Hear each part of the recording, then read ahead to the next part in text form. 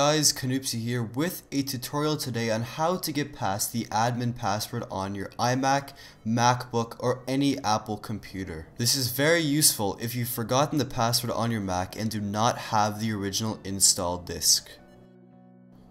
Doing this will basically create a new user on your computer and you will not lose all your old files. By making this account, you'll be able to access the old account or delete it. The first step you have to do is turn off your computer by either hitting the on-screen option or by holding down the power button on your Apple computer.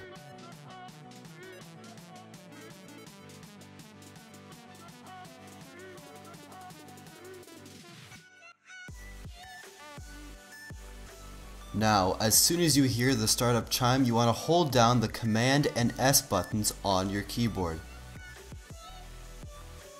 So as soon as you hear the startup chime of your computer or the screen turns white, hold down Command and S and keep holding until the black screen comes up.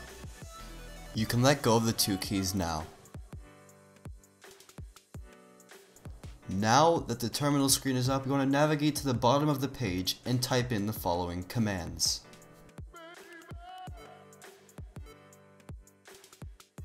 The first line you want to type in is mount space dash UW space forward slash. Hit enter. In this next line, you want to type in RM space forward slash VAR forward slash DB forward slash dot Apple setup done.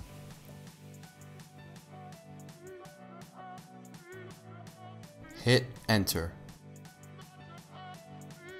The last thing which you'll need to type in is shutdown space dash h space now.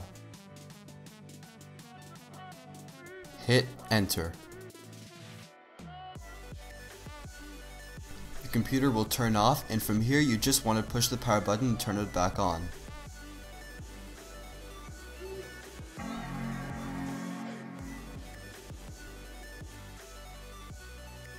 The iMac will now boot up normally and boot into the original welcome screen on your computer.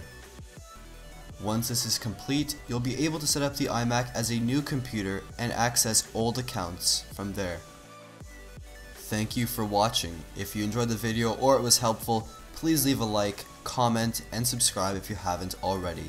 Thank you for watching, and I'll see you all next time. Goodbye.